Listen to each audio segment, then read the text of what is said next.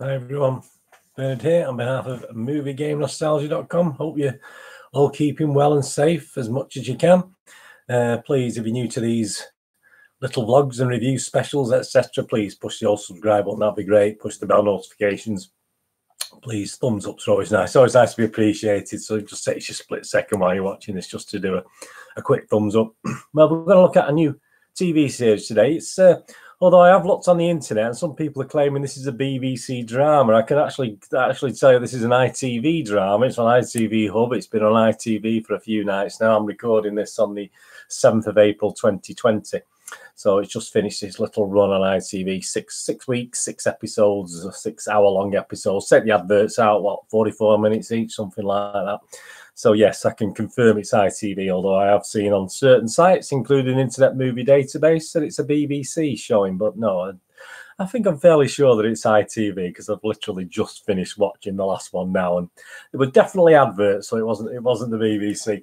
Anyway, this is a little review and a quick look at quick look at this. I mean, tell you a little bit about it anyway. I mean, obviously, this is series two. Uh, we did have a series one, didn't we? I mean, this is a, a crime drama thriller, uh, six episodes. It stars Joanne Froggatt, Downton Abbey, anybody? Uh, Ioan Gruffudd, Zoe Tapper, and back for, new for the second series because obviously those actors there were in the first one as well. New for the second series, we've got Amy Nuttall. It doesn't have a major part in it, to be honest with you, but we do have Catherine Kelly, ex of Coronation Street, Becky of Coronation Street, if you remember that, and obviously one of my I've got a little soft spot for Catherine Kelly, although she's not the greatest uh, greatest actress, but more more on that later on. Uh, the first series concluded on the 16th of October 2017, and it was announced that the program will be returning for a second series. But obviously, it's now 2020, so it did take a little while. Uh, it did premiere the first episode premiered on the 2nd of March 2020, and it's a who done it storyline. This one where it involves obviously the cliffhanger from the first season series finale and goes from there.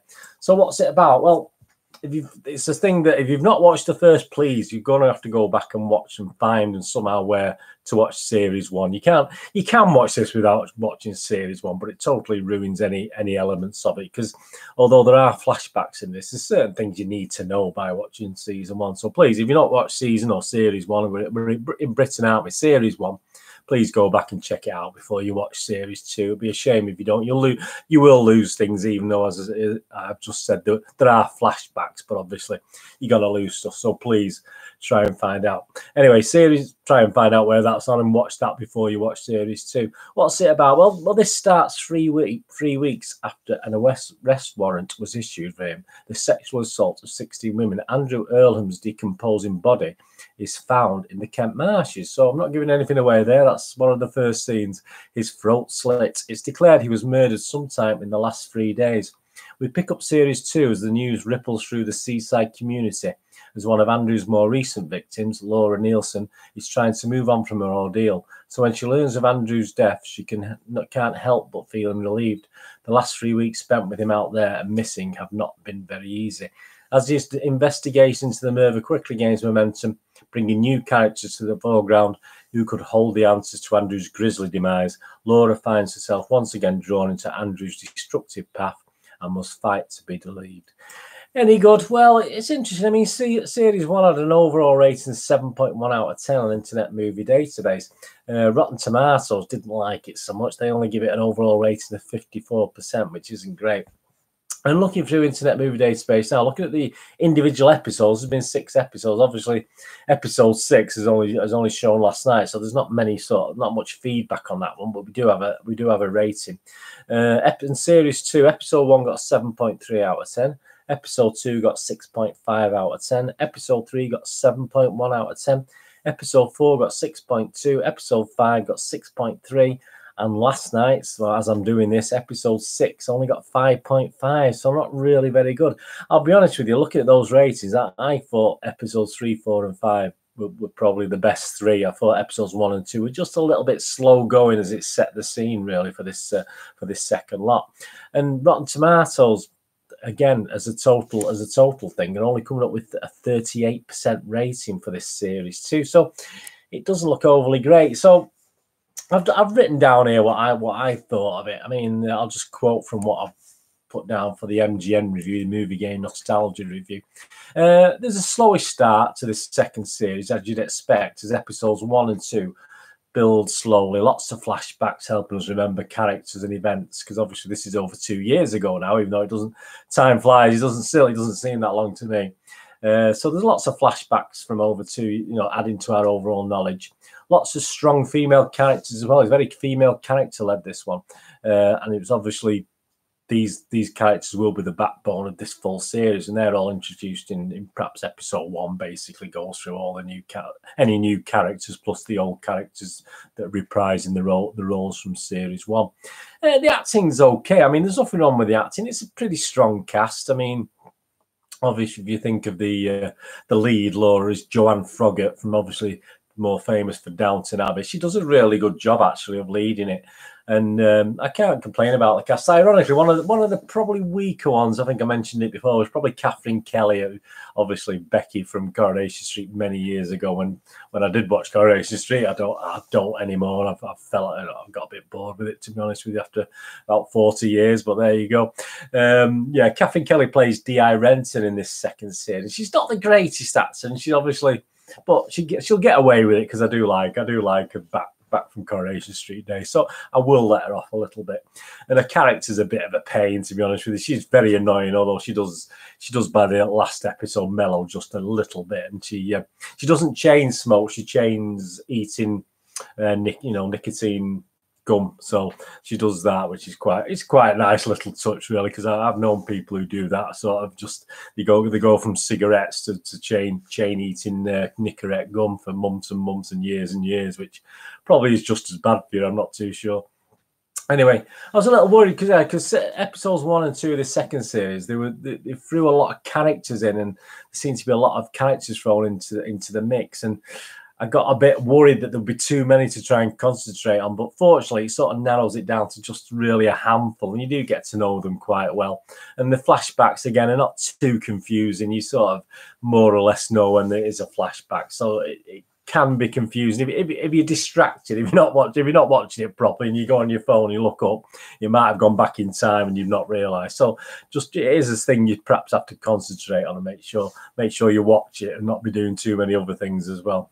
Um, the flashbacks did add to this six episode series, I must admit, but as as with most drama, I think six episodes again was a little bit long. I think it probably would have been far better with certainly one less, perhaps two less. I mean, if it'd been four episodes, I think it might have been better. If you're watching weekly, um, it, it, wasn't that bad. It didn't get boring. But if you binge watch it, if you're going to binge watch this one after another, there are little elements you think could have dragged on just a little bit. So if you're binge watching, yeah, it could have been, it would have been a lot tighter and better just for all right, five episodes, but definitely four episodes. It would have been a lot by a lot lot tighter and neater to watch. So, but obviously, if you if you're watching it one one every every night for a few nights or one a week like the original, then yeah, it probably just holds your interest uh, while it's going through. The ending, well, the ending last night. I watched the ending, and um, this is always the most important thing with these dramas. And it could could actually a, a drama could fall by it. I think these 5.5 ratings are based on the ending, to. It's okay. There's some good twists there that are offering a lot, but it, it, sort of turns into a little bit of a damp squib again. But it does end. I mean, there is an end to it. You do get a, a finality with it, but obviously there's a couple of things unanswered, but not nothing too strenuous. And a, a question you ask is, you know, you wouldn't have had a TV. There's one obvious question you ask, and I won't say it here because it'll ruin the thing, but it, obviously on episode one, you probably would have thought, well, if such and such a person had done such and such a thing, it would have all been sorted. But then again, you wouldn't we wouldn't have had a six episode season. So I'll it's okay. It's not a bad ending, and it's just an okay finish. Not, nothing fantastic. So overall, I mean, yeah, I mean, if you know my my reviews, I get a watchable rating is six out of ten. I'm not going to give it less than a six out of ten because it is watchable, but it's not it's not the greatest. Really it is good as it's well acted. If you like a good British drama, and it's only six episodes, could have been four. Yeah, I'd recommend. I'd recommend you watch it. You, you please let me know what you think if you get to watch um, series two, and please, as I said, seek out series one first. Don't don't be watching this uh, series two. But yeah, overall, yeah, it's all right. It's six hours I won't get back, as people say, don't they? don't like, but I didn't. I didn't dislike it. It was it was okay. Some good actors, some good female talent, acting talent as well in it, which which was nice and good to watch. And uh, I'm sure over the pond in America, I've got I know I've got some people over there who listening on these reviews as well. I think I think you'll enjoy it for the quirkiness. Obviously, these British crime dramas are.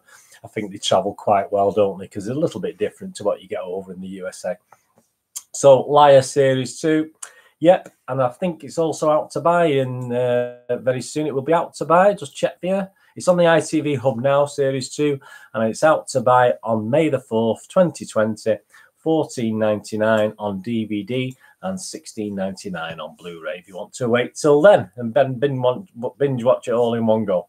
I'll leave that to you anyway, please let me know in the comments what you think if you get to watch Liar or if you've watched it already. Let me know what you thought and whether you agree or disagree that it's an okay watch. It's a watchable watch, but nothing fantastic, but not not a bad not a bad waste of time, not a bad waste of six hours. So, anyway, thanks for watching. Please follow me on Twitter for all the latest uh, movie news, TV drama news, etc. At nostalgia underscore movie, and also on Facebook I'm at Burns and Email links to moviegamenostalgia.com, my little website for old and rare DVDs, posters from the 90s and 2000s, and some retro board games, some of the older board games rather than the new ones, some of the older from the 60s, 70s, 80s, etc. etc. So if you come have a look on my website, moviegamenostalgia.com, that's absolutely fantastic. Anyway, thanks for joining me. Hope you can join me again very soon for something else. As always, look after yourselves. Have a great night, whatever you're doing, or a great day, whatever you're doing.